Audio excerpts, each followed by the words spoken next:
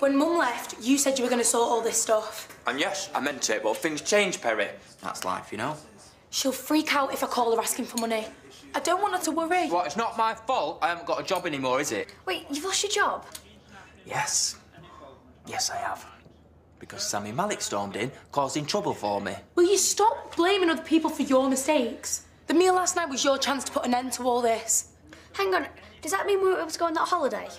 No holidays, no treats, no mobile data. Lucas won't be getting his season ticket. You're going to be lucky if I can put food on the table. Wait, what? Yeah, well, don't blame me. Blame that lot, the Maaliks.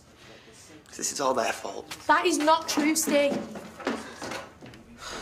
I was upset. I don't know why you sound so surprised. Me and you need to stick together, mate. Learn a lesson from that lot over there. The Muslims, mate. Close ranks, don't they?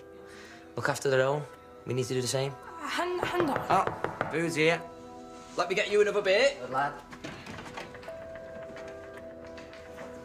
Are you all right with that? What you were saying about Muslims? Because I'm not. No one would be. Just Jonny, innit? He don't mean anything by it. Right. Uh, a few tips for tomorrow. The offside rule.